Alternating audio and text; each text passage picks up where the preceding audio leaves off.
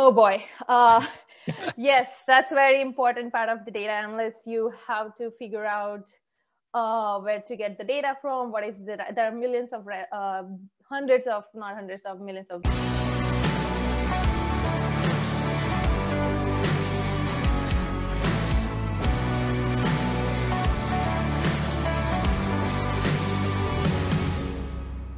So, according to you, since you are a data analyst, what are some of the most important skills which you use in day to day life for to someone to become a data analyst or for data analyst?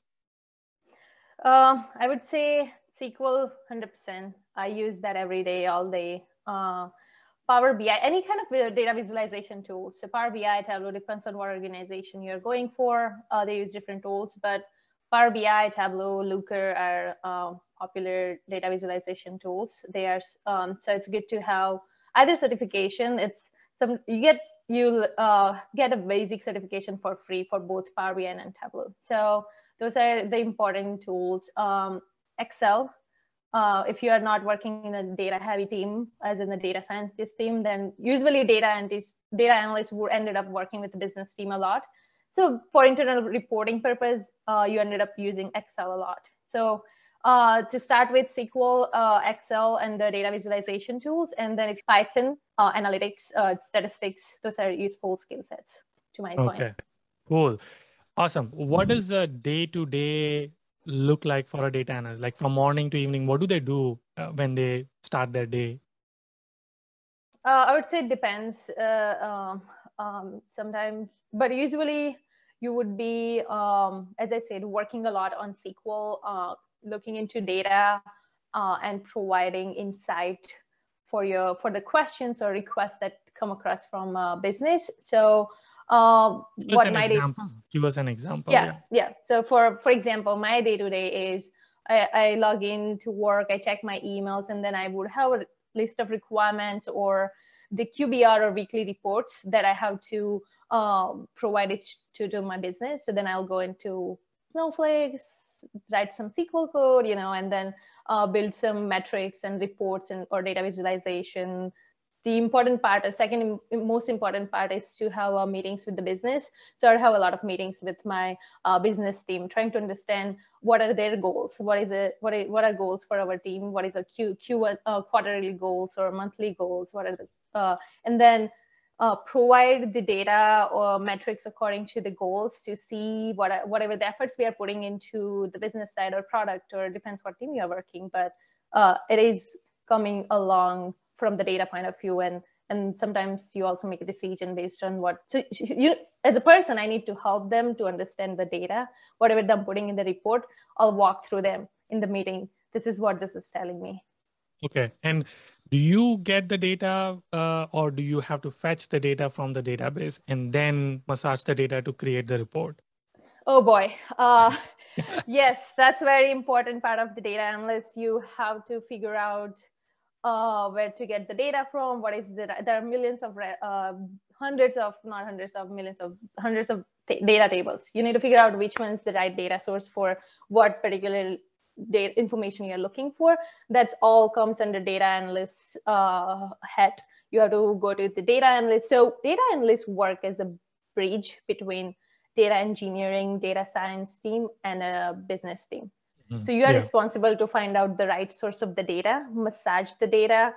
Um, you need to think through it as in, if I have this data, how would I present this data to make a sense out of it or to help my business make a decision out of it. So yeah, you have to go into data, massage the data.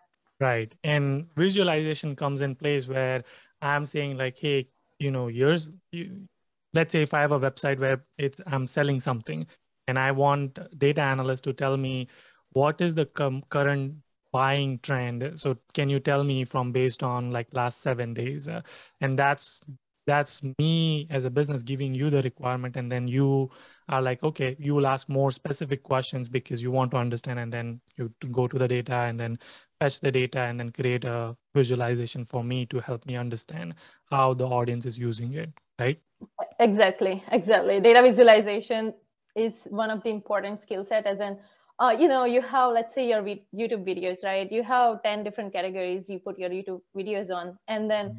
I can give you a pie chart versus bar chart.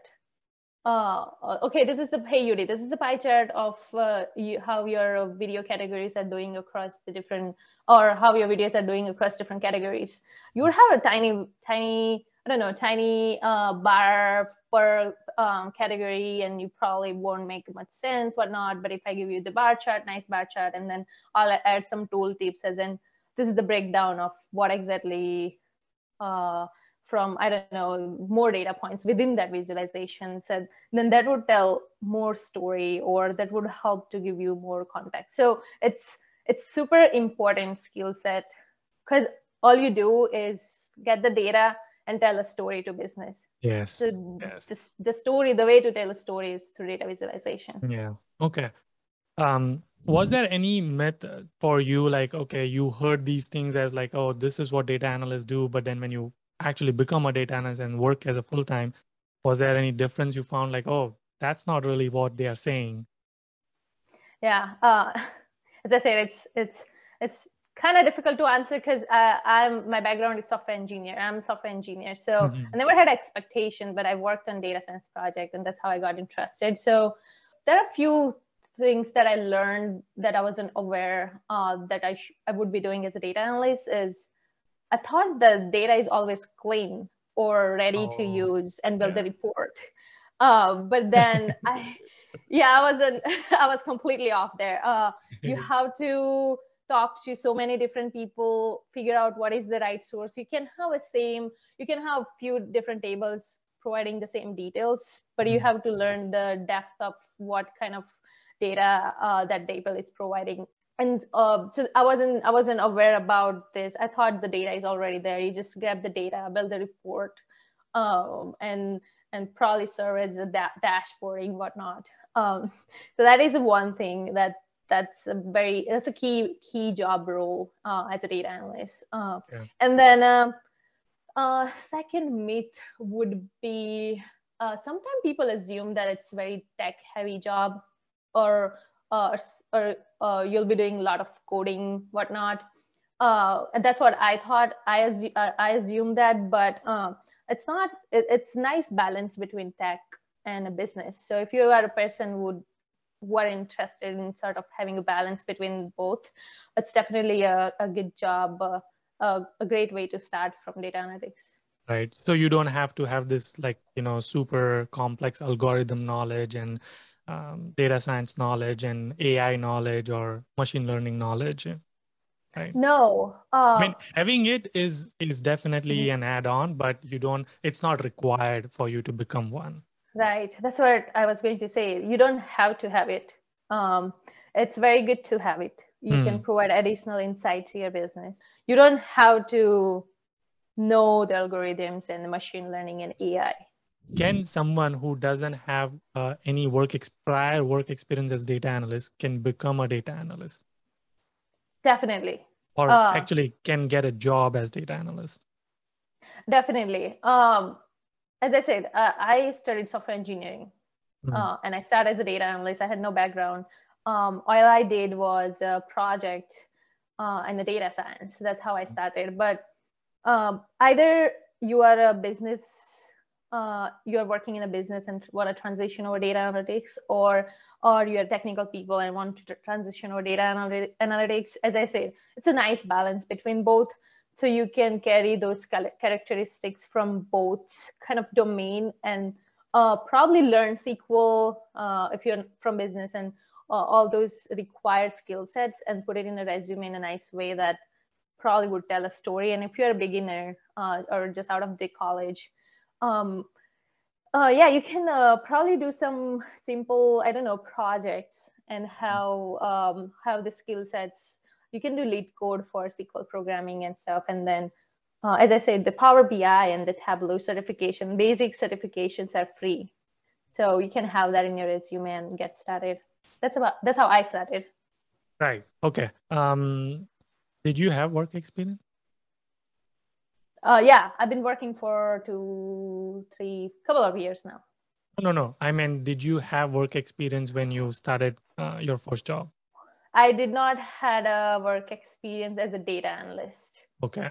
Okay. All I had was uh, my skill sets uh, and and the data science project I did during my master degree. Okay. Okay. Cool. What is the most common? I'm guessing you given multiple interviews for data analysts. What is the most common interview question, or what are some of the most common interview questions for data analysts? Oh, that's a good one. Um, definitely SQL questions. You're gonna get uh, get asked the SQL query to write. You're gonna get they're gonna give you the scenarios to write the SQL query. So definitely an example, one. like give an, an example. Yeah, for example, they'll give you um, let's say Amazon. They'll give you table A for the customer that are buying products, and table B for uh, so there will be customer data, and table B would be for the sales that is related to those products, you know, and then they'll ask, and then the table C would be for product data. And then they'll ask you to write a query to find out, uh, uh, find out uh, which customer bought the product A the most. Mm-hmm. To write mm-hmm. a query, write a query for that, or a simple. They can start it from the join. So joins, uh, left yeah. join, right join are the basic uh, basic SQL stuff, and then they can go to the Windows function where it's okay, give us a running total or give us a sum by this, give us a sum by product, give us give us a, a difference by I don't know uh, the top top selling product out of mm-hmm. all these mm-hmm. products. So then they, then it it gets the window it, it gets some advanced level SQL. But again, uh, for data analytics, I think that's all you need to know. SQL is also about uh, writing a super doing a data engineering job but yeah like insert that, queries yeah yeah but i don't haven't seen that being asked in the interviews for data yeah. analytics okay so sql is one part what uh, what are some other uh, interview question common interview questions uh, uh, so they would depends if the role is also um, i've done one one uh, during one project i uh, the, my role was as a power bi developer so if the if the role is heavy on reporting side, all you're doing is migrate report migration or whatnot, then uh, they would ask you question related to particular software that they're using, either Power or tool they're using Power BI or Tableau, mm. and then data visualization techniques, as in mm. What chart you use, for example, pie chart versus bar chart. The, just the example I gave you previously. Mm. Um, so those could be the questions, and then one another uh, interesting thing I found is is uh, as I said, it's you have to work a lot with business. Mm-hmm. So they will ask if they're looking for a domain experience people, they'll ask you some of the questions related domain or just in general how good you are working with across different teams. Yeah. Yes.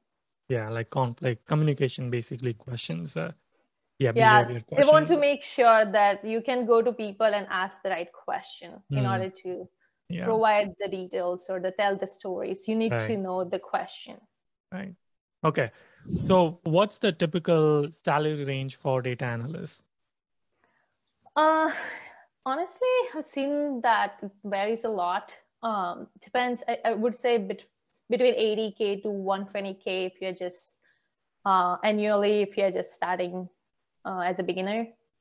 But um you can add your skill sets as a data uh, scientist or uh, you know nowadays there's a data product manager or ai product manager and, and the senior roles and then they can it's a good range that you can go from there. But yeah. initially again, when you also depends on the area as well. Like if 80000 in uh, some small town could be you know 140000 in bay area so bay area yeah it depends uh, it depends for sure 100% yeah Okay. Uh, what do you think the future of uh, data analysis is? The field still going to stay around or do you think it's going to, it's just right now the hype and it's going to go? No, uh, I think uh, this field's going to be here for a long term because um, all the industry and organization wants to do data, wants to now drive data driven solutions or the decisions. Um, all the small organizations, startups, they're looking for specifically people who who are uh, knowledgeable in data and do the business you know so this field is, is definitely going to be I don't know, I can see at least five, 10 years data analytics here. It's helping people a lot. And there is not all the organization or teams within the organization can have a have a leverage or can have a can leverage the data scientists or AI technologists. So right now, all those small teams, they're driving the decisions through the data analytics. Um, so it's going to be here. It's going to be, uh, the data analytics going to be here for a while. Um, and then from like within the field, I feel like it's going to get advanced. Um, when, when I say that, I meant um, if I'm giving you report, like, hey, Yudi, I work for data for you as a data analyst. There is this weekly report that you need for your YouTube videos, how they're performing. You don't want to be rely on me. You want something that is automated, mm. that you can self, you can check it whenever you want. It's live data. It's live metrics. Yeah. So it's gonna get advanced in a way that the thing's going to get automated. Reporting's going to get. It's already getting automated through Power BI and Tableau but um, this administrative work is in data cleaning whatnot's going to get automated but also yeah. then i then i question myself because data is getting so much complex and everyone wants to grab all the data that they can all the organizations so i'm like there has to be someone cleaning that data yeah but yeah. that also means that they're going to probably it is going to probably uh, develop some advanced tools that they can uh, take over the manual work at, yeah. at least as yeah. So that's where i see future of data analytics. Nice. Okay.